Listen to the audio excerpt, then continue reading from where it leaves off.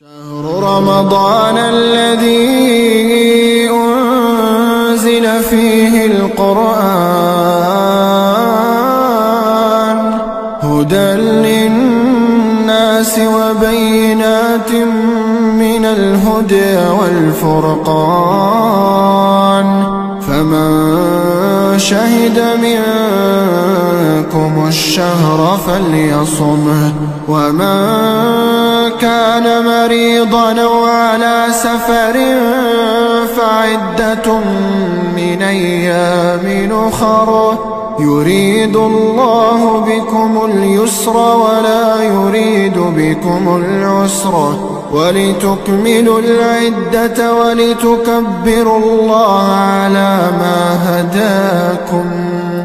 ولتكبروا الله على ما هداكم ولعلكم تشكرون. وإذا سألك عبادي وإذا سألك عبادي عني فإني قريب. أجيب دعوة الداعي إذا دعان.